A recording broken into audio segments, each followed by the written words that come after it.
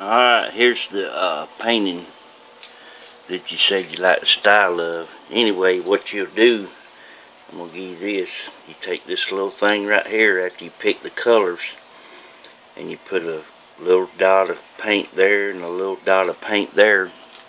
But first you paint your background, which is this.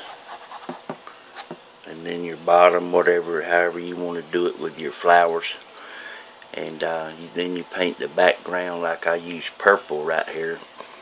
And then uh, I think I did it a couple of times and I put pink pink on there. And all you do is you just stick it there like that and spin it. You don't uh, be careful not to uh, you know get any paint further than these things and another thing too you can use uh, top of a medicine bottle. But anyway, that's all you do is you put the paint on this little thing right here.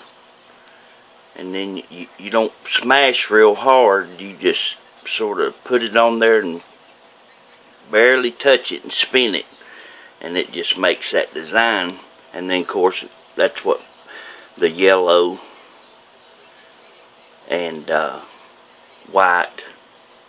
And then I'll came back later and put just a little bit of pink in there, but I used a brush to do that with.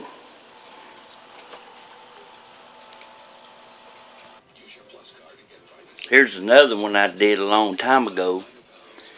Uh, see, but I used a I used a bigger one. Same thing here. I did my background different colors, and then of course right here I just splattered. But uh, that's a bigger one. So you'd use a bigger one of these right here. And then this right here, I just used a regular uh, top. Like, uh, well, here's a good one. See, like this one right here being smooth, that's just regular old thing. I just would put it down, put a little bit of paint on the edge of it, and just spin it around. Just like that. And then, of course, that other paint I just slung on there. But you do your background first, which is this blue. And then just put flowers everywhere. People like them.